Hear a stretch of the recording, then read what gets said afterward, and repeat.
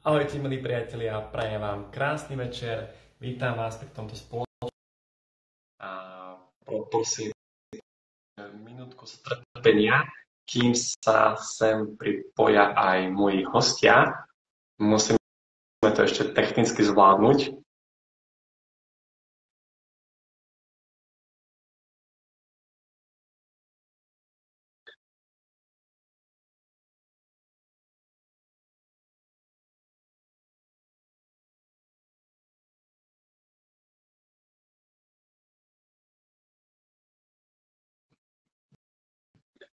OK.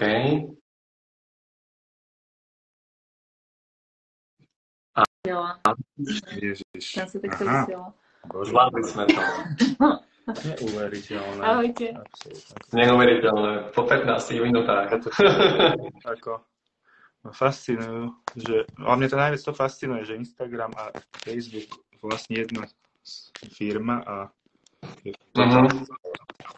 Mohlo by to byť spojené. má to, ako samozrejme, Ale toto ma, jednoduchšie. toto ma stále fascinuje, že toto sme zriešili viackrát, že sme chceli vysielať na, naraz, ale nie, vždy to Vždy niečo dialo. A furt si človek, človek o, o mesiac, o tri mesiace sa, sa ideme na to a potom zistí sa, že nič sa dotedy neposunul. Mm. Fascinuje. No nevadí, ale sme tu naživo, takže ešte raz. Ahojte priatelia, prajem vám krásny večer a teda privítajme a, potleskom u seba doma v obývačke Martina a Zuzanu. Ahojte. Ahojte všetci, ďakujeme za pozvanie. My vás môžeme nájsť aj pod menom Rejoy a v podstate ja ako fakt e, v úvodzovkách vás obdivujem, lebo vy ste vytvorili aplikáciu Bravejoy, Mhm. a využívam ju aj ja. To je vlastne aplikácia pre tých z vás, ktorí neviete, tak je to aplikácia, kde sú nahraté vedené meditácie, aj dýchové cvičenia, je tam spojených viacero učiteľov a vy si vlastne viete potom nájsť toho svojho vhodného. No a ja som v podstate hm, ako keby pozval uh, Rejoy, teda Martina a Zuzanu, aby uh, urobili takýto rozhovor, pretože vnímam ich ako osoby, ktoré sa vyznajú do rastlinnej stravy, do meditácií, do dýchania, takže o tomto sa budeme dneska baviť. A teda pokojne aj vy, milí diváci, píšte nám otázky do komentáru a my sa k ním potom, keď budeme mať ešte priestoru na, na záver, vyjadríme. Mhm. Ďakujem. Takže Uvedenie. No. Bala som sa, že povieš, že sme uh, nejaké technické typy, čo teda sme, ale na Facebook a Instagram nemáme. To nezvládam, zjavne sa pripojiť. Naraz. Bavili sme to. Hej. Tak kľudne, ako, keď chcete, tak sa ešte aj vy v skratke predstavte, lebo ja som povedal si ten základ, ale tak viem, že vy aj uh, veľa cestujete a praktizujete home schooling, Mhm. keď to dobre vyslovujem. Dom školáctvo. Teraz už nie, školáctvo. teraz už školáctvo. Teraz už nie školáctvo, áno, tak ja neviem, chceš to zhrnúť ty, alebo ja? Ja, ja by som nejak možno tak krátke povedala, ako celé Rejoy vzniklo. Vzniklo to vlastne pred troma rokmi, kedy sme si pozreli dokument eh, Game Changers, ktorý vlastne naozaj bol pre nás game changer, pretože je, teda kto nepoznáte tento dokument, je o tom, že tí ľudia vyskúšali prestať jesť meso mliečne výrobky a začali byť iba na rastlinnej strave. Zmeny v ich tele prebehli. My sme si teda povedali, že túto blbosť vyskúšame na dva týždne a uvidíme, že čo s nami spraví a z tých dvoch týždňov sú už tri roky. Lebo Mhm. návrat späť už proste nebol možný. Potom, ako sme sa cítili, tak sme si povedali, že to proste už nemôžete svojmu telu urobiť, keď ako sa potom cítite. Samozrejme sme to niekoľko vyskúšali, že a jedna parenica nevadí, jedna mozzarella nevadí, jedna mm.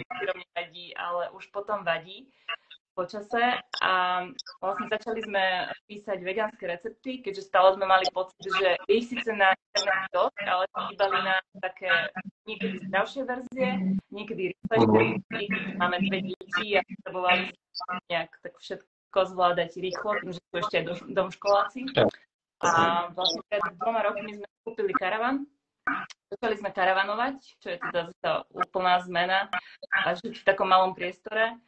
A Martin si medzi tým cez eh, obdobie pandémie spravil kurz dýchacích cvičení, kurz, kurz inštruktora dýchacích cvičení a začal sa intenzívne vedomať o tutovaniu dýchaniu a ja som si počas tohto obdobia spravila zase kurz yoga inštruktora. Uh-huh, uh-huh. toto obdobie vlastne, kedy sa nič nemohlo poriadne na seba rozvoj a myslím, že tak urobilo veľa ľudí.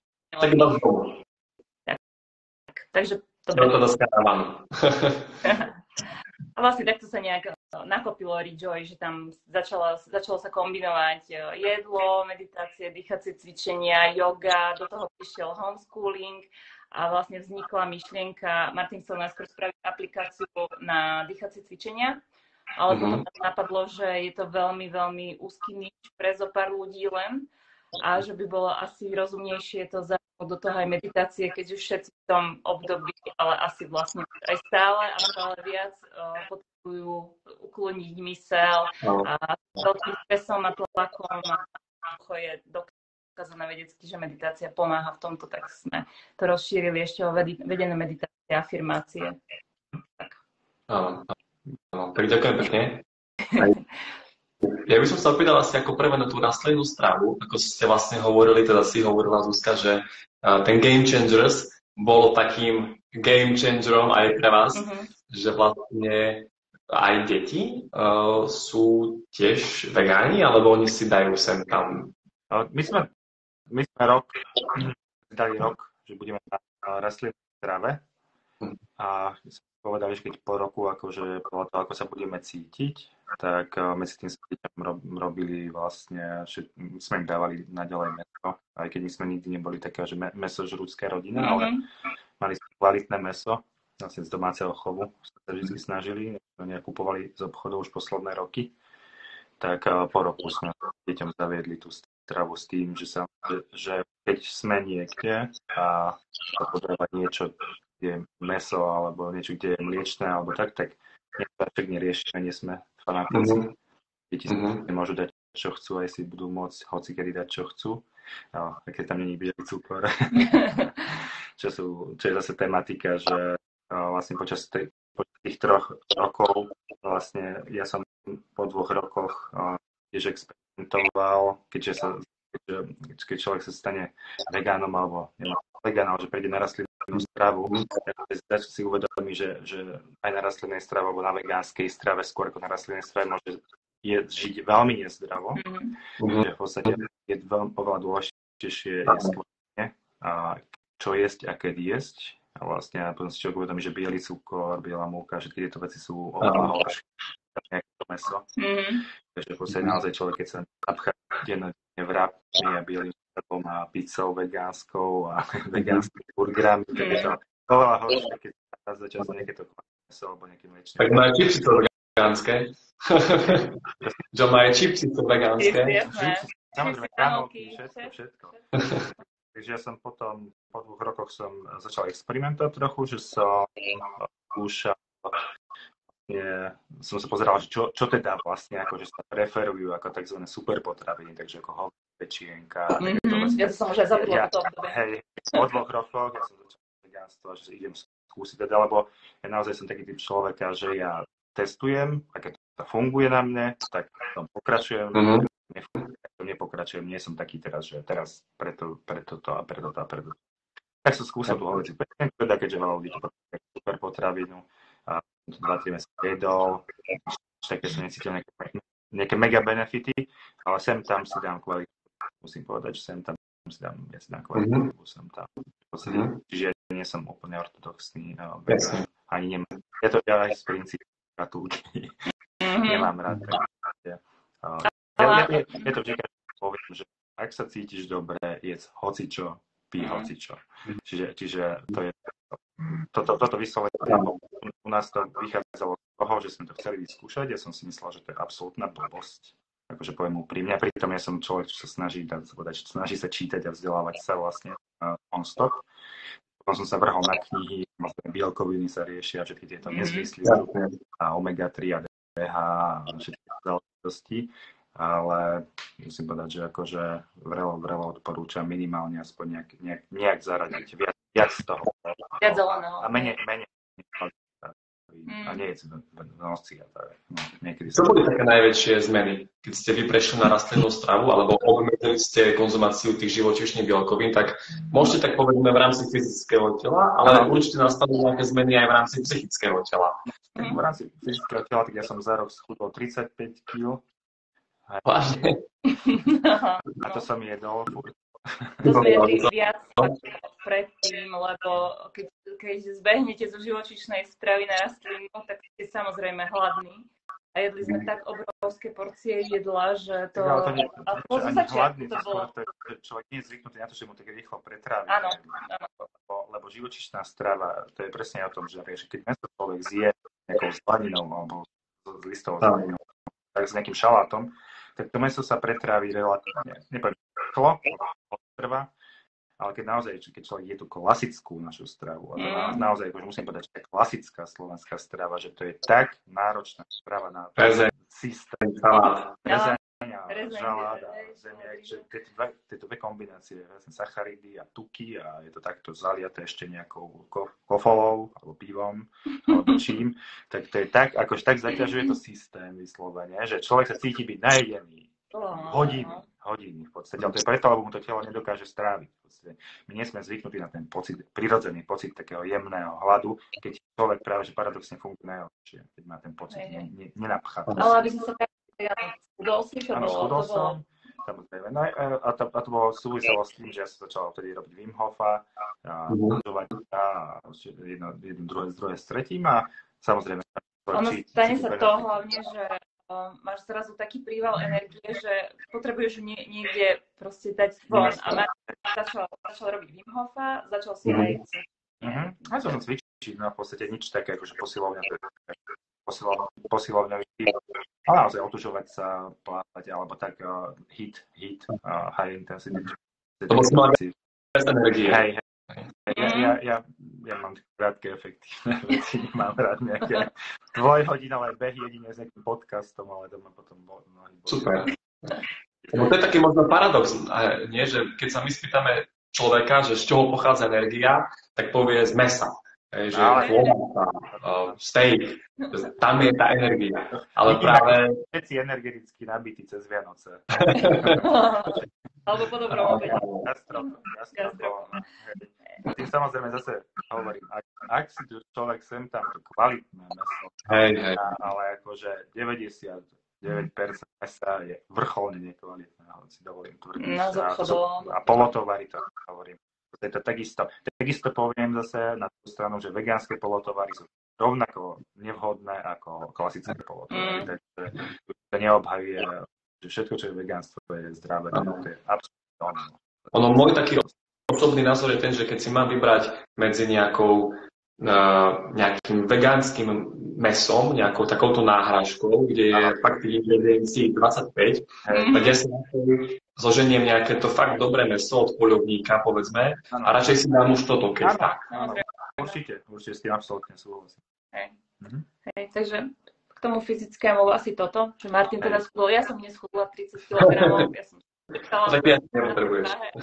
na tej váhe, ktorú som aj mala, takže kto sa bojí, že, že schudne nejak rapidne, lebo sú aj dievčatá, ktoré sú chudé a boja sa, že keď vyradili meso a mlieko, tak chudnú ešte viac, čo nechcú, tak nemusí sa to stať. Je tam dôležitá ale teda prijať dostatok tukov, zase ktoré sa prijímajú v orechoch a semienkach a oriškových mazláča a takých dobrých veciach, ale o, čo sa zmení? Zmení sa pleť, zmenia sa vlasy, zmenia sa toto, toto, zbadať, pridáte listovú zeleninu alebo zelerovú kávu do, do svojej stravy, tak tam proste sa to telo krásne vyčistí, hlavne keď, keď je niekto, ako my sme si mysleli, že neprežijeme bez syra, že my sme boli proste veľmi syroví, a mali sme radi rôzne druhy a to bola naša klasická večera, nejaký sír, nejaké olivy, nejaké drobné niečo No.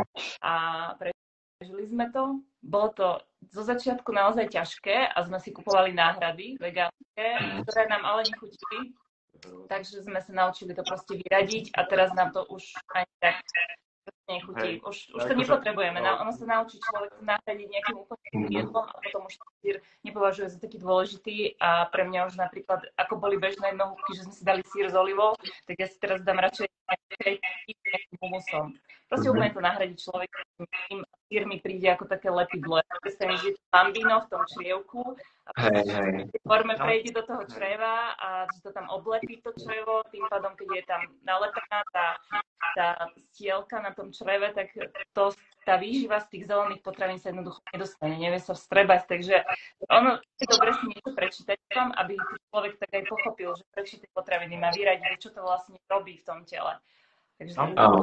alebo otestovať na To seba. eh, ja, som, ja som si minule som boli na večeri a mali, pripravili nám tam akože aj tie vegánske veci a bol tam aj sír, tak som po dlhšom čase ochutnal sír, Ale krásky, klasický sír. Mhm. Chcem povedať, že ja, čo som bol totálny fanatik do parmezánu, tak vôbec akože vôbec Mhm. nejak Nič, možno ako by som prvýkrát nevedel, že, že také niečo slané, mastné.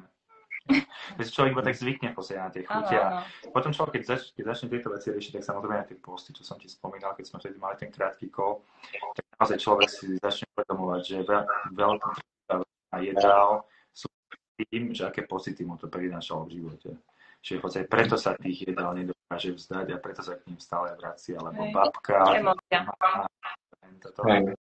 Vlastne tá, tá tematika jedla nie je len o tých nutričných hodnotách a o týchto všetkých, je to v podstate obrovská tematika, že sociálna záležitosť je to, je to Mm. jedlo. Takže Toto podľa mňa my aj jeme ani nie pre uspokojenie tej fyzickej potreby, ale skôr tej emocionálnej potreby. áno, hej, hej, hej, áno, áno, Ono je veľmi ťažké sa socializovať, keď si vegan. hej. Proste všetci kamoši si niečo dajú a ty tam... Vegetarián je ťažké. Je to ešte vegán. ty tam ideš rovno do tých šalátov a teraz si pozrieš, že prvý grécky s fetou, druhý kuráci Cezar, tam To to to. A potom, Musia.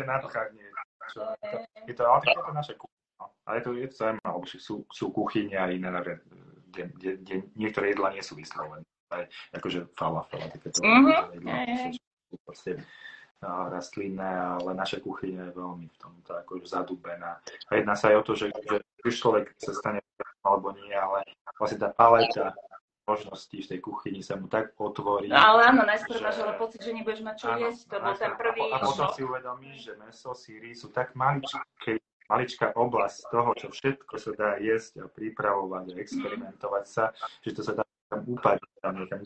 A hlavne ja musím povedať za seba, že som veľa druhov zeleniny ani nepoznala. Lebo proste sme nejedávali. Bo- Poznala som klasické horky, ktoré sme si dávali ako prílohu. Šalaty to sme nejak doma nejedávali, alebo sme mali, že uhorku nakrájanú s octom, alebo ako sa to robí, neviem, tak na kyslo, som alebo zavarenú cviklu, proste stále tam bolo nejaký proces, že si niečo otvoril, si si to vysypal do misky. Nikdy nejak zelené šalaty proste nefrčali a potom sme sa to naučili. A, druhá vec, čo súvisí s tým, lebo Zuzka spomenula aj tie šťavy, v podstate, že tá hydratácia je veľmi dôležitá na to, aby človek Mm. fungoval správne. Že tá klasická kuchyňa, keď človek sa napácha tými jedlami, to meso a vlastne tie knedlá alebo niečo, tak, tak dehydruje človeka. Mhm. že tým, že to zapije nejakou kofou alebo niečím odpadom, povedať, aj keď síce viem, som stal kofou, také sladké to je. som skúsil. Niekedy čase. skúšame. Niekedy skúšame, že čo nám to povie teda. Aha, aha. Ale naozaj, že človek je dehydrovaný. Áno, A tým, ako náhle človek zaradí naozaj, že, že, tie, že, tie, že tie zelené akože šaláty a tieto veci do, toho a prestane jesť úplne dehydrovať, alebo keď je pečené meso vyslovene, tak dehydruje vlastne človeka. Celý ten systém v podstate uh, je dehydrovaný. Ale áno, to- to je vidí- chronická dehydratácia. To uvidíte rýchlo aj na ľuďoch, ktorí majú radi šaláty a jedia veľa šalátov a pijú šťavy, tak proste aj, aj tak vyzerá, že, že proste tá pleť žiari. A potom vidíte, ja neviem, napríklad na klasické... Mám vysušený, dobrý, reflex, Ej, ale že, že to proste hneď vidno na tom človeku, ktorý Mm. stravuje tak, že má veľa, veľa zeleniny, veľa ovocia, tak tá pleť je proste hydratovaná, tie oči sú, sú proste žiarivé, a nie je synavý ten človek a proste veľmi, veľmi mení celá tá pleť to vyžarovanie. Áno. A žene, ktorá má 50 rokov, typnem 35 možno, keď No. e, je na tej rastlinnej strave. Áno, áno. Rastliny nie sú je Jednoznačne. Okamžite vidno. No to naozaj, že tie ženy napríklad, keď sa bavíme o, veganstve, keď takisto potom, akože ten, eh, nepoviem, že ďalší krok, ale ďalšia alternatíva je. Mhm. Sme zaradili aj, takže niektorý deň jeme iba roztravu, uh, alebo jeme teraz, sme nemali dlhšiu dobu, ale mali sme roztravu, ale naozaj, že vidím tie 60-70 ročné ženy, ktoré sú na roztrave a vyzerajú wow. Áno. No. No to, toto je takže, určite ďalšia meta pre takých ešte odvážnejších, byť na živej strave alebo aspoň zaradiť nejaké jedla zo živej stravy, možno pár dní. To robíme tak, že väčšinou, keď máme šťavový pôst, tak potom neprechádzame na normálnu stravu. Uh-huh. To nepachnem bolognese, hej, hneď prvý deň, ale dáme si taký ľahší a potom si postupne pridávame, lebo to, to je vážne, keď kameň po šťavovom detoxe si hodíte nejakú a to je bezpečné. Pastu. A kvôli čomu posty, keď sa môžem takto opýtať, lebo ako podľa môjho názoru, no mnoho ľudí má to tak nejako zafixované, že práve keď nejedia, tak si škodia, mm-hmm. že keď sú hladní, tak to nie je dobré a vtedy tak, akože to telo... No. no. Čo, telo človeka v dnešnej spoločnosti je tak zaťažované vlastne jedením, pravi, častým jedením by som povedal, že nemá šancu sa Čiže v podstate Posty sú kvôli detoxikácii. Samozrejme, je, je viac druhov postov. Sú šťavové posty ako čerstvé šťavy, čo sa pripravia, potom sú vodné posty, suché posty, takže podľa toho, že na čo sa človek cíti. A takisto, keď si niekto nedá meso, to je post v podstate mm. preto, pretože tak organizmus v podstate.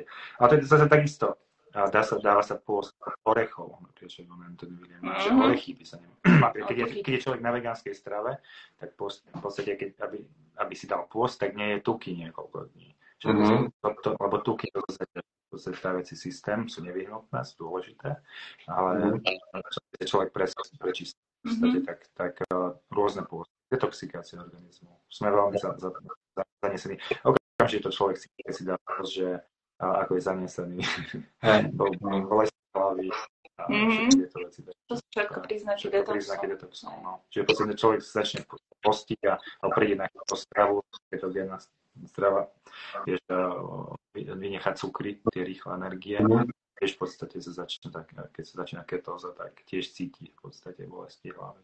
Hej. To čistenie v podstate cíti teda. A nemusí sa toho zláknuť asi, že teda ho rozbolila hlava, ale je to... Je, to na takom zdravom skutku. No ale treba sa na to zase aj pripraviť, že nie, že nie. Dneska si pozrite toto video a zajtra si vacnite post. Lebo veľa, veľa ľudí je, však my žijeme, my sme extrém, my sme extrémisti. V podstate v spoločnosti my sa nažereme a postíme sa, však sa postím, a potom sa obžereš, no tak akože no, všetko treba robiť tak z skupne a premyslieť proste to telo nejak funguje a keď je zvyknuté na nejaký pravidelný príjem určitého, určitého druhu stravy, tak nemôžem mu urobiť teraz seg a od ďalšieho dňa niečo iné. My sme to tak spravili s vegánstvom, ale to bolo len vegánstvo. Ale keď hovoríme o pôstoch, tak určite by som začala postupne vychávať. Ak má niekto úplne klasickú slovenskú stravu, tak nie, že hurá, od zajtra som na vode, ale pekne naozaj polotovary a spracované potravy, meso, mliečne a potom si, potom si vyskúšať byť možno na živej strave a potom vyskúšať pôst alebo šťavy, aspoň na Áno, áno, áno. Ja, ja som mal dostal takú skúsenosť, že mal som zatiaľ iba jednodňový pôst, kedy v podstate jeden deň jem, ale ja som mal, ako celý deň som nejedol, mal som pôst a večer som išiel behať a ja som mal kopec energie, ale ja som mal kopec energie. Toto nejako by nedávalo ten zmysel, že sa hovorí, že keď neješ, tak budeš unavený. Ale práve, práve keď som nejedol, tak ja nehovorím o tom, že som mal úplne ako myseľ takú uvoľnenú a jasnejšie myšlienky, taký pokojnejší som bol, ale ako ten jeden deň doslova som bol energeticky OK. Keby som nejedol povedzme už 4, 5, 6, neviem, to som ešte neskúšal, neviem ako by to bolo, ale myslím, že by to bolo aj OK. Ty si mi hovoril, že 21 dní si bol... 7, 7 dní na vode, 7 dní, 7. Na vode, 7 dní na vode a v pohode. To je naj, naj akože hovoríte, že to je fázia, ale prvá fáza taká ťažká, keď, keď systém do ketózy, tak to je po 24 dňoch také dva, dva také veci, telo vlastne sa musí prepnúť, aby energiu využívalo z iných zdrojov. Mm. A hej, no tak potom tie 4 dní, keď som mal suchý post, to bolo také, keď ani nepije, ani nie je človek. Takže Mhm.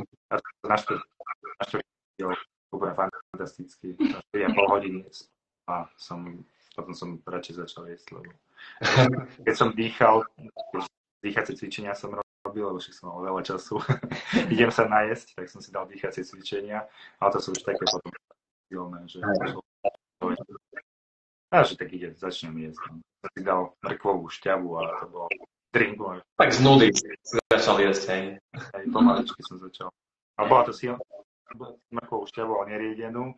A potom som mal taký akože rush energetický, že potom som čítal, že treba pomaly začať s cukrami po suchom pôste, lebo to je potom normálne ako keby... Mrkva je fantastická. hej, hej. Takže, Hej, hej. bolo to také no, zaujímavé. Ale určite, keď to chce experimentovať s pôstami, tak by som začala so, šťa, so šťavami, lebo šťavy sa dajú zvládnuť, viete tam namiešať to, čo ma radí a môžete to- to- vypiť koľko chcete za ten deň naozaj, to Však nie je negovateľné. Ugo, čo robí tú očistú, ale akože oveľa lepšie sú Mhm. ale Ugo robí tú očistú. Ne, nepropagujem, nepredávame ich výrobky, ale viem, že je to populárne. Alebo tak. Mhm, mhm. Ale píva, Ale naozaj, presne, ako, ako si hovoril, tak keď človek prestane jesť, tak eh, jasná mysel, viac energie. Áno, mám že eh, ma vytáčajú viacej veci, ktoré ma vytáčali, alebo by som ich zajedla, asi to tak to povedala. Mhm. Že keď si ma niečo vytočí, tak rýchlo si tam za orechov, alebo orieškového masla, alebo dátlu sladké. A keď nejem, tak no čo, tak môžem akorát tak sa poprechádzať, alebo sa zadýchať do meditácie, alebo čokoľvek. Ale treba sa to naučiť prekonať, lebo vtedy, keď niečo si uvedomíte, že koľko vecí riešime tom, že sa mi niečo podarilo, že si odmenu, niečo sa mi nepodarilo, že zaslúžim si niečo, nie som smutná, na kavičku, hej. No. Ale my máme veci spojených s jedlom a naozaj si vtedy, keď prestanete jesť a budete iba piť šťavy alebo vodu, tak si uvedomíme, že koľko jednak času to zaberá, to jedenie. Rozmýšľame, čo budeme variť. Varíme, umývame a zase rozmýšľame, čo ideme variť. Koľvek sú hodiny cez deň. Strávené iba týmto, ktoré dajú aj úplne inak. Potom to začne zle veľa voľného času. Áno, tak tieto posty, myslím, že sme rozobrali do hĺbky a verím teda, že uh, diváci si to možno začnú viacej študovať, lebo nie bez hlavo sa do toho hrnúť, ale pozrieť si o tom, keď tak niečo ešte a má to proste veľké Hej, alebo sa kľudne pýtajte, napíšte. doporučí. Martin.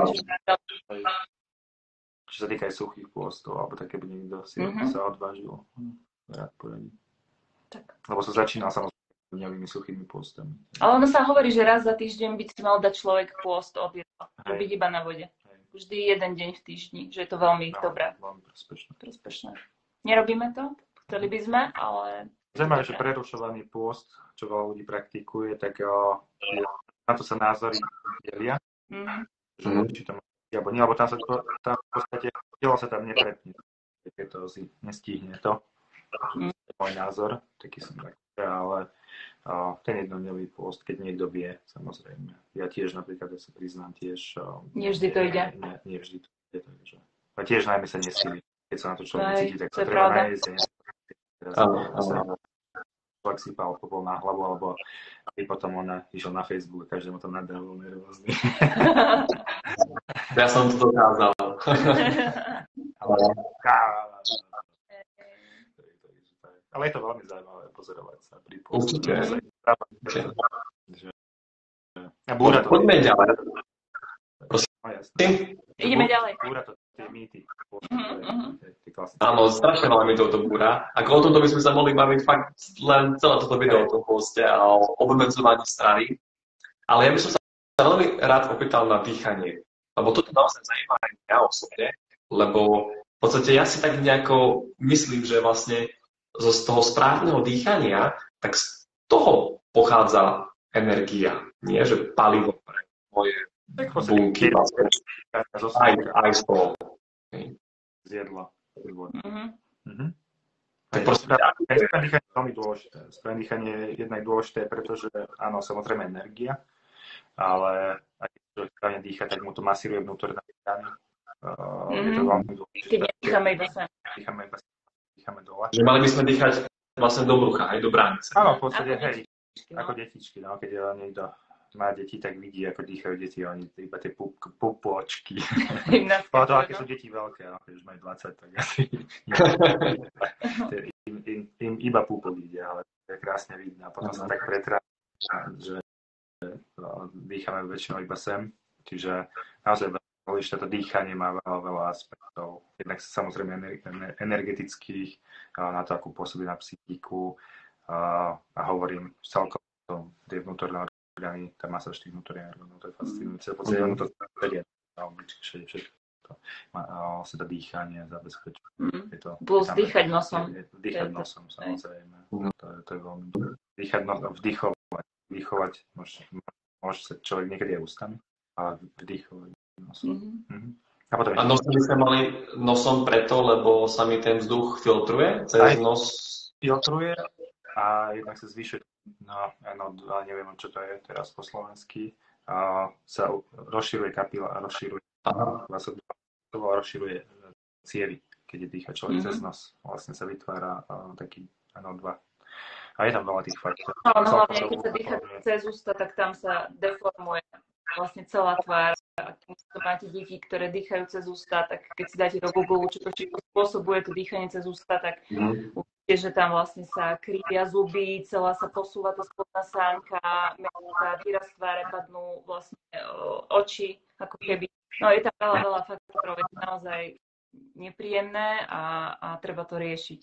Hlavne teda s deťmi, ktoré majú problémy s a väčšinou to začne škôlke, keď sa začnú nosiť domov rôzne choroby, splavé a všelijaké takéto, tak to sa môže skomplikovať celé. Dôležité je vlastne pomer nádychu dôležitý. Keď sa človek chce ukludniť alebo je v kľudovom režime, tak mal byť dlhší ako nádych. Alebo, a potom počet nádychov a výdychov by mal byť menej ako 18 za, za minútu. Takže ako náhle ich je menej, tak vtedy sa človek dostáva. Merač na internete, že?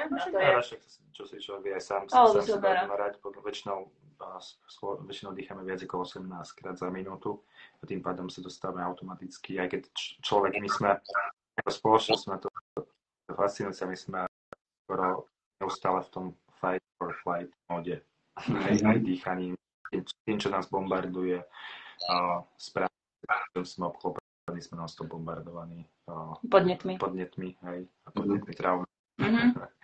keď už nie sú podnety, tak... No, preto, preto je dôležité naučiť eh, dýchať. Keď cítite, že ste v strese, alebo sa vám niečo deje, a že sa potrebujete ukludniť, tak keď dokážete mm-hmm. dých ovládnuť a prehlbiť a naozaj ho vnímať ako prúdi, tak uh, dokážete celé svoje psychično upokojiť. Ano. Vlastne vďaka len dýchu, alebo problémy so spánkom tak to vždy som chodila za Martinom, mi povie, ako mám dýchať, keď môžem zaspať a proste stačí sa to iba naučiť. Naozaj sa tak upokojíte, že za chvíľku bumbáte už. A to je, keď si človek uvedomí, že dých je, je, je jediná uh, taká, ktorá môže byť autonómna, vedomá. Mm-hmm. v podstate tým, že mm-hmm. to aj naopak, keď človek stresu, tak začne rýchlo dýchať. A keď, a, čiže naopak, čiže keď spomalí, Mm, dostať von. Dostať von. Áno, lebo Áno. Pokot srdca si nevieme ovládať. Tak jogi, jogi, to je jogi si vedia. Mm-hmm. Len to trvá. Čiže stojí za to, ako sa to naučiť ovládať. Otázne radšej. By si chcel šokovať. Čiže keď si chcem, povedzme, ja teraz zlepšiť kvalitu dýchania, tak také prvé kroky sú vedome na to myslieť a vedome začať dýchať no, do brucha? V prvom rade dýchať nosom, nosom väčšinu, času, väčšinu času. Sú také, sú také dýchacie techniky, kde sa človek nadýchne nosom a vydychuje ústami. Keby spraví si takú rúrku a pomaličky vydychuje ústami, to zabezpečí to, že vlastne pomaličky, pomalší je ten výdych, oveľa pomalší ako nádych. Mm-hmm. Čiže vlastne tam sa uvoľňuje systém a nosom dýchať a spomaliť dýchanie. spomaliť dýchanie. Možno, len, ale tak prakticky vieš, že len ráno stať, že to by, No, čo by si poradil. ja- že by som poradil, minútku, dve minútky si iba tak zadýchať ráno v podstate. No. To, je, to je úplne také ideálne. Sú také rýchle meditačné cvičenia, že máme aj... Myslím, že máme basket, to nie to dvojminútové ranné. Hej. Sú tam také kratučké cvičenia v aplikácii, Mhm. čo sú na ráno, tak že to je veľmi, Mm. veľmi, veľmi Keď niekto naozaj nevie, si naozaj pustiť nejaké vedené dýchacie cvičenia, ono ich určite veľa aj na YouTube, aj v mám. A s niekým, kto vám, alebo s tým počítadlom, vám to pekne ráta a naučiť sa pomaly ten dých, naozaj aspoň nadýchovať sa na 6, na 7, vydychovať, aby... Sú rôzne tie cvičenia, Hej, hej, sú sú 4, rôzne. 7, 8 a potom sú tieto krabičkové dýchanie, to je vynikajúce. Ale naučiť sa vnímať hlavne svoj No, dých. samozrejme lebo- vnímať dých. A potom človek aj začne vnímať svoje telo. Mhm. Spraví skener, a že prejsť si celé telo, je prejsť, dýcha človek a uvedomuje si nohy postupne. A tak. Mhm. Čiže v podstate človek, alebo keď sa chce nabudiť, tak sa často do studenej sprchy Mhm. a je nabudený. Tak, takže, Áno. takže ten dých Zohrej sa. sa nadýcha človek, keby sa tomu hovoríme, nadýcha sa, než napije sa, nadýcha sa, ale v podstate a potom zadrží dých, sú tie zádrže dýchu a potom Mhm. sú tie, a potom sú Hoffové a, a, a, a Hof, hovorím, Hof nič nové nepriniesol, len to spropagoval, para, perfektne to spropagoval. Vlastne tieto techniky existujú tisícky rokov. Mhm. vlastne asi najzaujímavejšie mená z dýchacích cvičení sú Hof a Butej. Dva, Hej, že- Butejko ešte. Keď chcete googliť takýchto dvoch, No, je, je, je, má. sloven, slovenskej verzii, ja som, to, ja som na oficiálnom Wim Hof kanáli je slovenská verzia, čo, čo som narozprával ja. takže, takže, Okay. takže si kľudne, kľudne môžete pustiť, keď tak Super. po anglicky. Ja, ja, ja, ja novú verziu, lebo sa nedá na, na, na, na odkopčiť, hej, on je no, dnešný, ale pre, ľudí, ktorí to po anglicky, tak je to tam. No, mne vlastne pred týmto rozhovorom prišla taká otázka, že sa nás to mohol pýtať, že ako si zlepšiť spánok. Tak viem si ja aj e, dýchaním zlepšiť kvalitu Tak jedno spánku. v pr- v prvom rade som povedal, odporúčil, že to je- sú aj tie dýchať nosom. Mhm. Takže ak to dýcha sami, tak budú také lepiace volajú. No, ja som to objednávala, ale je to z butejkovej stránky práve. Je, je to, akože vyzerá to zvláštne, ale sú to také náplasty na ústa, ktorými si vlastne prelepíte, ale To akože, sa vlastne na plosti. ústa viete stále otvoriť, tam je vyrezaný otvor, len vám proste, keď píte, tak vám to nedovolí otvoriť do korana ústa. Máte ich privreté. Také, je tam Wow. také to napísané, že také oranžové. Sa Podarí vám vygoogliť, keď to je, volá sa to mouth tape, to je mm, náplň na ústa. Mhm. Mouth tape, áno. s otvorenými ústami, ale čo sa týka zaspávania, tak no neviem, To je, v, to, v prvom to, je, to rade, je jasné, že, že, pre, že, že spánok, lebo spánok to je tak obrovská, samozrejme dýchanie s tým, lenže keď, keďže dýcham, dýchať počas spánku dýchame vo vedome, takže v prvom rade je naozaj zabezpečiť to, aby si nosom človek dýchal. A na to Mhm. musíme na to sú rôzne techniky, môžete, môžete povedať rýchlo keby niekto- no jasné, nadišodanú dýchacie cvičenie, alebo ak naozaj cíti niekto prekážku v nose, tak áno, treba doktorovi, sa, naozaj uistiť, že to nie je niečo fyzio, Doktorovi, aké k oringo, Ale že nejakú prepáčku mám zlú, alebo či tam je nejaká prekážka, alebo to je naozaj niečo iné, alebo potom sú tieto nety, konvičky, ktorými sa dá preplachovať nos. Odporúčam to bravo, odporúčam to bravo. A- Každému, kto chce dýchať, tak uh, tie, to ľudí používa. Je taká konvička a slanou vodou si človek pre, preplachne, vyzerá to Mhm. ale, in, ale v Indii sa používajú všetci. Áno, a v podstate žiadne spreje, žiadne umeliny, žiadne... A potom máte pocit, že máte takéto nosné dierky, akože obrovské, lebo tak sa to celé uvoľní krásne, Konvička, krásne, čiže že... vlastne toto. A teda keď sa vrátime k tomu spánku, tak uh, dýchanie nosom, a potom otá- otázka bola, či, že ako, ako lepšie zaspať, tak naozaj relaxačné cvičenia sú fantastické. Pred spaním. Pred mhm. spaním. či Nena, nenažrať sa, akože Nažrať sa. je, je spánok. aspoň 3 hodiny pred spaním. Ideálne, čiže keď sa človek aj o 10. po jednej, Mm, ale nie, ideálne je. Teda keď sa bavíme o komplexnom spánku, tak poviem, že ísť do 10. spať, Mhm. ísť spať 3 hodiny pred nejesť. Nepozerať do mobilu, nepozerať do mobilu hodinu, hodinu, červené svetlo si zapnúť na mobila, do televízor. takisto televízor, čiže v podstate takto celá tá príprava, zatemnici miestnosť. Mm. My, my ako toto veľmi, naše domácnosti sme riešili. Červené okuliare, inak ako tu Červené máme. okuliare máme. To je, to je, ak niekto naozaj nevydrží večer bez filmu alebo bez niečoho, tak to chcem povedať, že, že človek nevie mať, nevie, nevie mať kvalitný spánok, ako náhle, keď pozera do vlastne modré svetlo, tak to indikuje telu, že ja v podstate to telo si myslí stále, že je ráno, a vlastne on váhne, fyzicky je síce unavený človek, ale telo nenaštvaruje tie re- rekonvalescencie. Čiže v podstate človek môže nie 3 hodiny, ale kúka do toho, toho čím ja vôbec ten telefón, každý si vie vygoogliť, ako sa zapína červený mod, na každý vlastne spánkový mod, červený, si vo 8 prepíname vždycky, takisto aj na, keď niekto robí na kompe, tak sa tam filtre ako iris, alebo slúb, čiže v podstate toto, toto sú všetky také faktory a naozaj vy, vy, vyvetrať si. Ono to vyzerá divne, keď máte doma červené žiarovky, síce.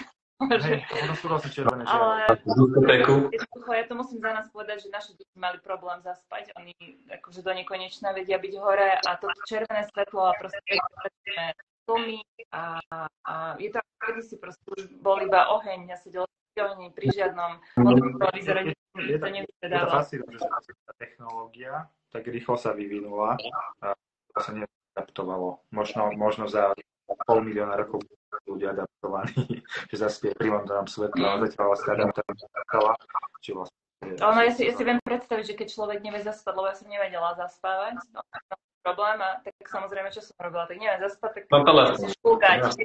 ne, pozriem si videá, To hej. a, a to je ešte horšie, čo som vlastne robila, že potom som už vôbec nevedela zaspať. A teraz mám napríklad problém, keď idem do kina, tak neviem potom zaspať, lebo je to toľko vnemov a pre mňa, že sedieť tam s červenými okuliarmi si neviem celkom predstaviť.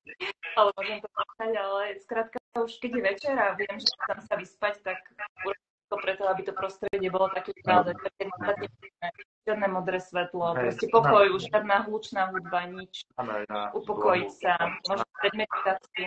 Máme na blogu. Prosím? Že článok si? A na blogu máme články o tom. OK. Čiže rejoy.sk, blog, Blog. prečítané si. Hej, lebo je to, je to veľmi dôležitá téma podľa mňa, lebo človek, on keď má aj dobrú A- a- samozrejme, lebo my sa, tu, my sa tu môžeme baviť o strave, my sa tu môžeme baviť o biohackoch a o dušovaní, ale spánok, čo to, toto všetci, či vegáni, lebo ja, ja, ja, ja na to, či vegáni, či nevegáni, či raw, či toto, či jogíni, spánok, spánok, spánok, číslo jedna, bodka. Samozrejme, keď má človek dve malé deti doma, sa to je jedna vec, ale v rámci možnosti, v rámci možnosti. áno, áno. A ono v podstate aj meditácia asi vie tiež pomôcť k tomu dobrému spánku, nie? Samozrejme, samozrejme, meditácia určite. Sú meditácie pre pokojný spánok, pre uvoľnenie tela, alebo už len klasická šava po joge, tak už tá upokojí človeka. Potom je yoga nidra, to sú tiež výborné, ani neviem, to mala nazvať meditáciou, to už je skôr niečo, že čo sa zobudíte až ráno, Aha. príjemná vec, takže dá sa veľa toho Hej, nájsť. No keby- Keď sa môžem opýtať takto ešte najprv, že ako by ste vy vysvetlili úplne jednoducho dvoma, troma vetami, že čo to je meditácia? Jednoducho, ty neviem, či to budeš vedieť. Berme tak, že niekto si to nevie. Niekto napíšel tam 30 stranu knižku, hej. tá super vec. Super. A že aká by som, aká by som meditácia, no, to je jednoducho. Skús ty najprv, ja porozmýšľam. Jednoducho? Je jednoducho povedal. Lebo, lebo ja som tak, ja rôzne druhy meditácie, ja porozmýšľam. Ako ja sa to len preto pýtam, lebo uh, ja stále si poviem takto, že keby som povedal nejakému človeku v úvodzovkách jednoduchému, nejakému robotníkovi, teraz samozrejme nechcem sa nikomu dotknúť aj nikoho, ale keby niekomu na dedine poviem, že tak medituj, a on o tom ani nevie, nepočul o tom, tak bude si myslieť, že to sú nejaké čáry máry, nejaká čierna mágia, neviem čo, nejaká zlá energia, že to, to je šarlatánstvo alebo také niečo. Tak ako mu to tak jednoducho, Hej. zdravým sebeckým rozumom, Alebo si- povie, že na to nemá čas. Ako som si ja myslela. Že na to ja nemám čas o Martin, že zamedituj si, že už veľmi si podráždená. Ale že ja nemám čas musím váriť dve deti, neviem, čo si treba Mm. chystať, mm. stále upratať. Keď mám mať na to čas, ale mm, a meditácia je vlastne naučiť sa um, mať ako keby prázdnu hlavu. Volám, že, uh-huh. že nad ničím nerozmýšľaš, iba vnímaš svoj dých a vnímaš možno svoj tlkot srdca a proste akákoľvek myšlienka napadne, tak iba necháš prejsť, nebudeš sa jej venovať. Iba jej povieš, že dobre, a poď ďalej. A čo to vlastne robí? Robí to to, že sa naučíte tie svoje myšlienky len pozorovať. A Uh-huh. A nenechať sa vtiahnuť do ďalších riešení nejakých problémov alebo starostí a vytváranie príbehov do budúcna. Je to veľmi, veľmi príjemný pocit. keď sa to človek naučí, tak sa kedykoľvek si to dokáže ako keby tak vedome privolať a upokojiť sa, alebo sa nastaviť na niečo, že sa vie nafokusovať na nejakú činnosť, uh-huh. A že to Už potom asi vedená meditácia, nie? Keď, keď si tam dám nejaký... No, ale tak sú rôzne. Ja mám meditačnú hudbu a nájdem si, že, ja neviem, minútová meditačná hudba, alebo viac viem, že nebudem mať času, tak si ju pustím a iba skrátka sa upokojím, preskenujem to telo a, a iba počúvam a potom to zrazu uplynie a poviem, že som mohla byť. Je to príjemné. Ale naozaj, kto nemá čas meditovať, tak ten mal začať. Mal by začať hey. jednou minútou. Prvý deň jednu minútu, druhý deň dve. No. A postupne... Prvý vydržíš jednu minútu. Prebač. Hovor, hovor. Ako ja len, že keď vydrží človek jednu minútu bez myšlienok, tak klobúk dole. To už profík. Je to ťažké zo začiatku, naozaj si to nech si nepredstavuje niekto, že to je nejaká jednoduchá vec. Áno, nejde to, lebo e, náš mozog je zvyknutý na príjmanie toľkých podnetov, že mm. zrazu neriešiť je veľmi, veľmi ťažké, ale niekedy sa to dá na, naučiť veľmi rýchlo a niekedy to proste nejde ani tým najskúsenejším. Hej, hej. No, ja by som teda povedal, že meditácia podľa mňa obrať pozornosti dovnútra, oh. že sa to otočí teraz sa pozornosť, pretože naša pozornosť je tak vyťahovaná od rána von, tým začne to mobilom, Instagramom, so všetkým, čo je jedno, čím v podstate, že je to taký zriedkavý, zriedkavá činnosť teda v dnešnej spoločnosti, že zrazu tú pozornosť si obrátiš vnútri. A ešte, ešte takú druhú analogiu, čo ma napadla, je, že človek keby bol v tornáde a zrazu z toho tornáda vstúpi do stredu toho tornáda, keby a vidí, že sa to točí okolo neho. Mm-hmm. Pretože myšlienky sa nedajú zastaviť, to je nezmysel zastavať myšlienky. Myšlienky sa dajú, myšlienky buď môžeš byť tými myšlienkami, alebo ich môžeš pozorovať. A to a ako, a, ako náhle, lebo zastaviť myšlienky sa nedá.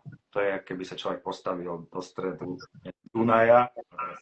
Je to pointa zastaviť? Nie je. Dunaj si tečie, ale v podstate ty sa stiahneš na a pozeráš teraz na a potom tam zase môžeš sadnúť a sa jazd, voziť na vlnách, ale je to v podstate taký nezvyčajný akt no, človeka v dnešnej spoločnosti, že mm.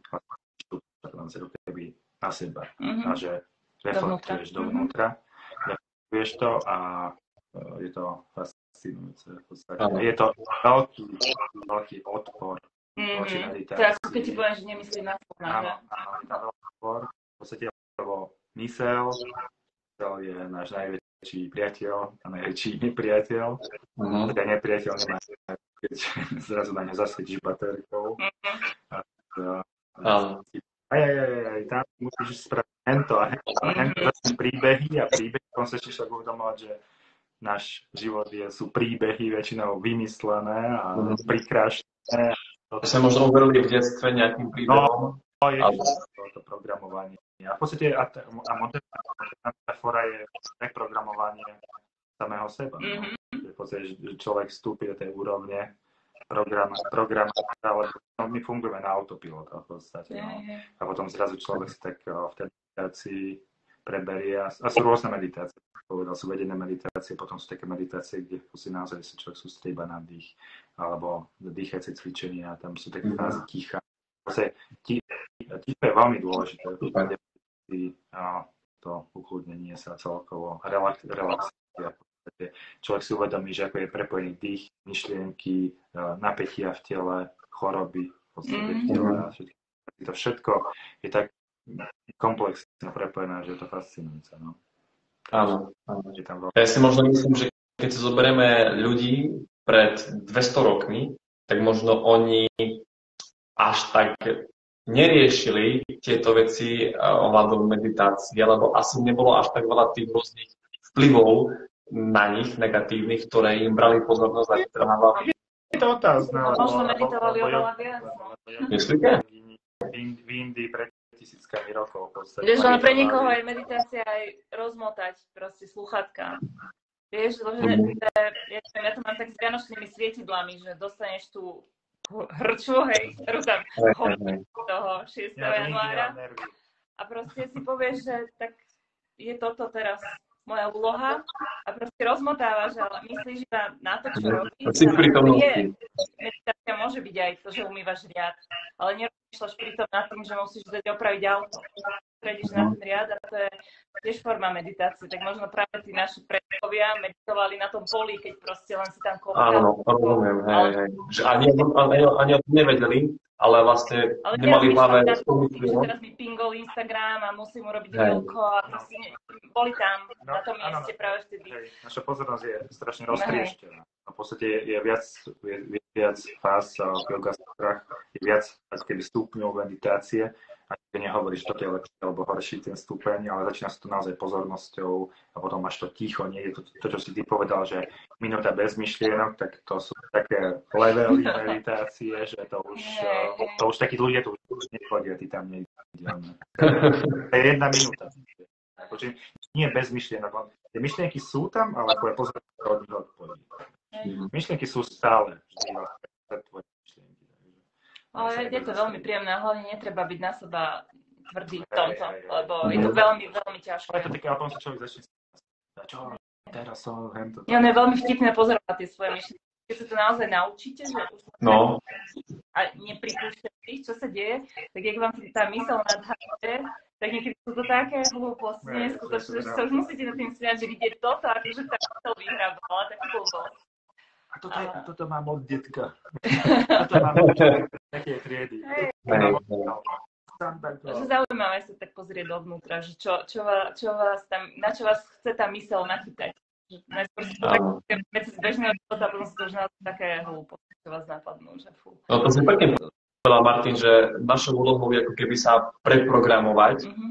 lebo vlastne tá myseľ je programovaná a mnohokrát náš neprospech a preprogramovať sa, no tak aby to bolo ten môj prospech zdravie a pokoj. Ten novší program je lepší ako ten predošlý, lebo možno nie je.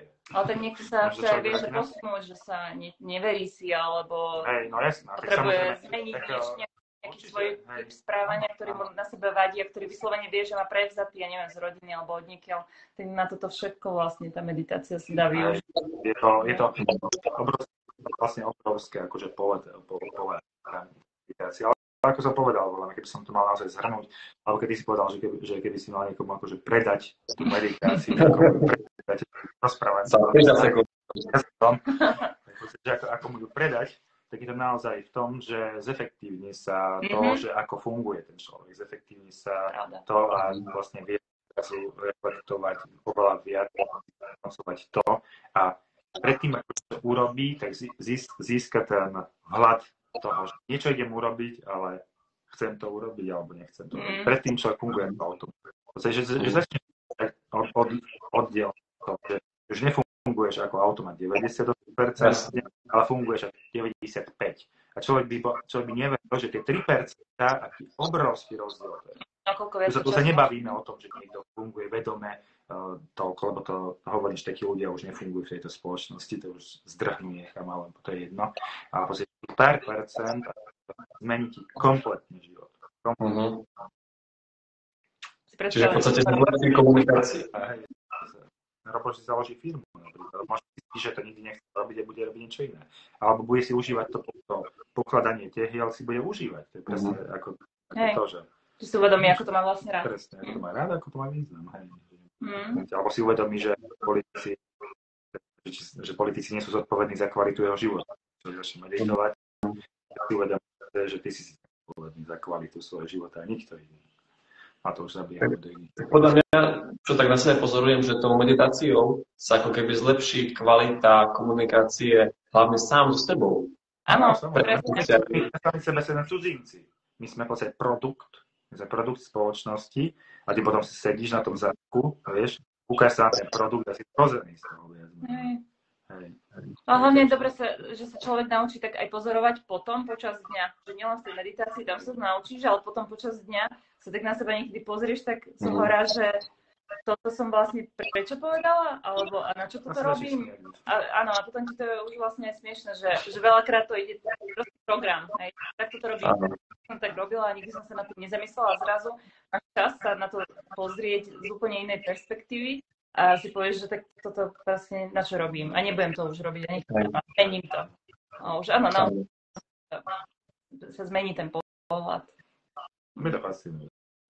Hey, ja som tomu neverila, lebo Martin teda medituje dlho, ja neviem odkedy, od vysokej školy, alebo ja neviem. No.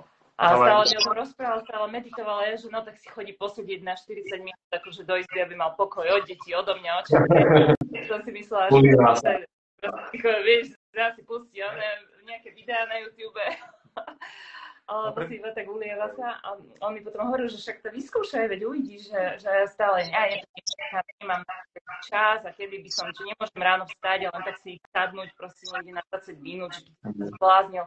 A potom som to vyskúšala, ani samozrejme 20 minút, lebo to aj teraz si to nedovolí ale už sa stane, že pre mňa sú ráno, ja to ráno nerobím, ale večer pred spaním je naozaj veľmi príjemné si pustiť, ja to volám, že do uška nejakú keď aj už nevládzem sedieť, že už chcem ležať, tak si pustím proste nejakú meditáciu pred spaním. Alebo ak ráno vstanem skôr, mám chuť, tak 10 minútovú nejakú na, na nabudenie do dňa. Alebo hopa, pardon, perfektný deň. Alebo skrátka, dá sa nájsť veľa typov meditácií už teraz a je to v podstate o tej, Nájdeme si čas. Aj, o tej praktike, že tá praktická využitosť tej meditácie, lebo... Ale to ťažko to rozprávať, keď to niekto neskúsi. Áno, to, to, to, to treba vyskúšať, no, že naozaj, je, je to ako s tým, s tou rastlinnou stravou. Proste, uh-huh. keď, keď je niekto ochotný to vyskúšať, vyskúšať, to nebaví fanatizma, alebo fanatizme, že teraz všetci by sme mali meditovať, proste keď to niekoho nebaví, keď to niekoho nebaví. Mm. To je proste o tom, že čo pre koho funguje. Nemusí áno, áno. Prečo to že úplne. Tak niekto tú meditáciu môže mať v tom normálnom, eh, v tej nejakej aktivite svojej, kedy je fakt pri a niekto musí sadnúť. Neviem, no, moja, moja, neviem, či babka teda, ale aj mama zvykla štrikovať a proste ženy si vedia nájsť takéto činnosti, pri ktorých akože na nič nemyslíš fakt, alebo neviem, teraz robiť na alebo čokoľvek tak možno pre niekoho je toto forma meditácia, že úplne to, alebo ne, nevie ešte o tom, že aj inak sa to dá robiť, ale uh, niekto, niekto, potrebuje, nie, nie, niekto potrebuje jednoducho si sadnúť v tichu sám, v kľude. Ale by som aj nepovedal za meditáciu, že takúto meditáciu, že naozaj nájsť si tých pár minút v tom tichu. Hej, so zavretými očami. Hej, hej. Pozerať sa alebo, ale ja napríklad ja sa priznám, že keď vedeme meditácie nahrávam aj nahrávam aj máme aplikácie, tak ja, ja, som, ja využívam meditácie málo kedy už teraz. Mm-hmm. Ja som ich využíval dva mm-hmm. roky, ale teraz skôr mám takú tú fázu, že skôr takéto ticho a... Ty si ani hudbu nepúšťaš? Čiže keď niekto začína na začiatku, tak je lepšie s vedenými meditáciami začínať? Mm-hmm. Určite, Jednoznačne. Určite, určite, určite, určite mm-hmm. meditáciami, lebo naozaj tá myšľa, vieš, tie myšľa sa ti tak, tak uletia ti, že si sadne, že za 5 minút iba pípne tam ten timer a iba si, iba, iba si prebehol poznať do obchodu, čo včera povedal. To, čo mu povie, to je celá tá meditácia, je to spláchnutý, čas, aj keď niekto hovorí, že nie je, ale je to v podstate, ja som naozaj odpočal jednu meditáciu tým, hey. že v tých vedených meditáciách tým človek naozaj ti povie a mm-hmm. sa na ten a ti to a, pripomína a si zabudol, áno, zase si zabudol na ten dých, lebo my nevieme udržať pozornosť, my sa tu bavíme o nejakom ADHD a tak, akože, že, čo deti majú akože problém, že vraj s tým, ale my dospelí my nevieme udržať mm. pozornosť na 10 sekúnd na niečom. Tak, tak v podstate, tiež my sme všetci celá spoločnosť ADHD. Mhm. A pre úplných začiatočníkov máme aj kurz meditovania v Apple je na tri časti a je to naozaj kratučké. Každá časť má možno dve minúty a naozaj sa tam učia úplné základy. Takže keď sa niekto úplne si nevie predstaviť, že by si tak tú vedenú meditáciu a čo s tým ďalej, tak najskôr kurz a náš no. no, úžasné je, že o tom takto hovoríte, lebo fakt nám to skvalitní život. A ja som rád, že ste mi otázku a potom, samozrejme, meditácie sú potom aj tie také akože ezoterické meditácie, mm-hmm. alebo vlastne práca s energetickým telom a takéto mm, veci. Práca s vnútorným telom. vedené meditky, tak, tak to všetko patrí pod to, ale človek naozaj, ty si ako povedal, povedal že nejaké čarodejníctva, tak áno, áno, sú, sú ľudia, ktorí vlastne preto sú také meditácie, v podstate viac také akože spirituálne, spirituálne ladené a tak. A to sú zase tie fázy toho človeka. Ja, mm-hmm. ja takisto tiež akože uh, mám rada také meditácie v podstate, alebo venujem sa... Aj, alebo aj vizualizácie. Hej, vizualizácie, veľmi pekné. afirmácie sú silné. Mm-hmm. Vlastne táto téma je obrovská, je tam téma, je o tom sedieť pri gange a v lotosovom sede a akože tam levitovať, ale v podstate je to takisto vrcholoví športovci, vrcholoví manažéri mm-hmm. si nájdu a to sú ľudia, to ma vždy fascinuje, že mi tu nejak, niekto povie, že on nemá meditovať a potom poviem, že CEO tej spoločnosti, čo má 8 tisíc zamestnancov, tak on si nájde čas ráno, Tony Robbins, alebo neviem, ktorý si 15 minút, alebo neviem koľko si nájde on čas, tak to neraz neroz... To je na tom dovolení si, že vlastne nemusím sa tlačiť, ale dovolím si dať 15 minút pre seba. Lebo lebo naozaj to je človek, nech to vyskúša, je to, je to, stále sa vraciam vyskúšaj to a potom povedz. Akože, mm. ak nič dá, gratulujem. Okay. Treba čakať po prvom dni sa zmeniť život niekomu, hej. No, možno hej. Možno hej, no Vieš, ale tak si to vnímala aspoň týždeň. Možno založí nové náboženstvo a bude. Treba vyskúšať. Dobre. Vrel, 10 z 10 meditátorov. My sme v tomto rozhovore ako keby dali také, také témy a už potom ľudia si môžu vyťahnuť, čo chcú, ako sa môžu rozvíjať ďalej, dýchanie, rastlina, meditáciu. A máme tu, máme tu jednu otázku. Ja by som prešiel k tej otázke, ktorá napísala jedna naša diváčka, že vlastne uh, ako dlho vám trvalo sa takto nastaviť, kým sa to stalo pre vás prirodzené? Asi ten životný štýl má na mysli. No, teraz, ale to je taká komplexná otázka, v podstate akože prirodzená čo teraz, akože meditácia alebo rastlinná strava? Kedy to poslala? To bola otázka, keď som bol v tej rastlinnej strane, čiže rastlinnú stravu myslím, že bude mať na mysli. Tak, pre teba to skôr asi pre teba je otázka. Rozmýšľam, že ja sa taký zlom nepamätám, že keď som to začala vnímať ako prirodzené, viem, že, že to, to prvé obdobie bolo naozaj veľmi ťažké, kedy som strávila viac času hľadaním receptov ako samotným varením. Uh-huh. Písaním už potom, áno. A, ale som začínala napríklad variť z, zo sloveganky tej knihy. Ja som sa veľmi na ňu tešila, keď vyšli slovenské recepty vlastne v sloveganskej verzii Nehovorím, že to je kniha zdravých receptov, určite nie je, ale ako prechod z bežnej slovenskej stravy na vegánsku stravu je to fantastická príručka a doporučila by som ju začať s ňou každému. A tým, že my máme radi vietnamské jedlo, tak pre nás potom ďalší krok bolo vietnamské jedlo, proste veľa rýžových rezancov, veľa stir fry, zeleniny takej proste strúhanej.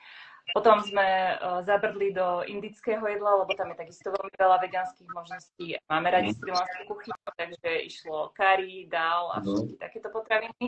A vlastne, keď už si človek nájde to, čo má rád, tak potom to už ide rýchlo a rozmýšľam, že koľko to mohlo. Nech to boli tri mesiace, tam to bolo prirodzené. A teraz napríklad, keď sme teda, my sme teraz v Chorvátsku, ale keď sme bývali na Slovensku, tak bežne sme nakupovali v Lidli a v Kauflande a my sme ďalej ako za tú zeleninu a ovocie ani nedostali. My nemáme prečo chodiť ďalej. Zbytočné, hej. Úplne zbytočné. Proste nákupy sa skrátili absolútne, lebo všetko vieme kúpiť v ovoci a zelenine. Maximálne nejaké rastlinné mlieko ešte, že sme zbrali zobrať. A myslím, Kaufland to tak už mal poriešené, že to mali všetko hneď tam na začiatku. To je úplne fantastická vec a vlastne tých 95% potravín, ktoré sú v obchode, sú ani neexistovali pred mnohými rokmi. Takže je to na zamyslenie. A napríklad ekonomicky, to ako vnímate, že keď sa bavíme o peniazoch, že teda nejak ušetrili ste nejakú korunku, keď ste prešli na rastlenú stravu? Alebo... Závisí, že čo si kupuješ. Ak niekto si kupuje veganské polotovary, tak neušetrí určite, pretože je to ešte pomaly drahšie ako bežná strava. Ale ak sa vrátime niekde k receptom starých mám a zaradíme veľa strukovín a ríže a starých obilnín, kedy sa, ktoré sa kedysi jedli, ako je pohánka, jačmenné krúpy a neviem, ovoz, tak sa naozaj dajú tie náklady totálne minimalizovať. A my máme na uh, YouTube máme video, vlog, ktorý sme robili a je tam vlastne za 20 eur sú tam nákupy a obed na 5 dní, bože, na 5 dní pre 4 osoby denne aj za 20 eur. Neviem, že to nejaké super zdravé, opäť, ale je to, keď, to niekto, keď niekto, je to super chutné, hej, a keď niekto naozaj hľadá nejakú ekonomickú možnosť, tak tam tie recepty sú, sú všetky na blogu, všetky sme zjedli a naozaj to vyšlo 20 na týždeň. Super, to, ešte nám aj zostalo. Pre 4 osoby. Takže ako... Mhm. Pre 4 osoby. Takže dá sa, dá sa, áno, dá sa, samozrejme, ako všetko. Dá sa naozaj aj lacno je, vegánsky a dá sa, ak máte záhradku, ste vybavení. Proste celé leto. Šaláty. Tradica z leto, to je úžasné. Keď si pestujete rýžu doma. Hej, keď si pestujete, máte rýžové poličko. tak na Slovensku asi nie, no ale... Dobre, tak. Tak ja vám určite ďakujem za všetky vaše odpovede a pozerám, že diváci zatiaľ žiadna otázka okrem týchto dvoch tu nebola. Mm, Takže, no... ja len teda, že sme prešli. Asi áno, meditujú. A správne dýchajú. Mm. Takže... My ďakujeme za pozvanie a kedykoľvek bude mať niekto nejaké otázky, tak buď nech teda pošlú tebe, alebo nás nájdete na Instagrame, na Facebooku, na YouTube, na TikToku. Asi sme na každom kanáli, ktorý mhm. existuje. No. alebo na ja, ja to aj pridám link na vašu stránku rejoy.sk, aby ste to mohli pozrieť. Mm-hmm. Tam je aj tá aplikácia, tam si ju aj môžete stiahnuť. Takže... Mm-hmm. Hej, apka je, je aj pre Android, Takže kľudne, vyskúšajte. Vyskúšajte. A napíšte nám, napíšte. ako sa vám páčilo, alebo nám dajte 5 hviezdičiek hodnotenia. môžeme, môžeme putovať do viacerých domácností. Budeme sa tešiť veľmi. Ďakujeme vám pekne. Dobre, tak ďakujem aj ja. No a držte sa, buďte zdraví. Ďakujem veľmi pekne. Ahoj. Ahojte.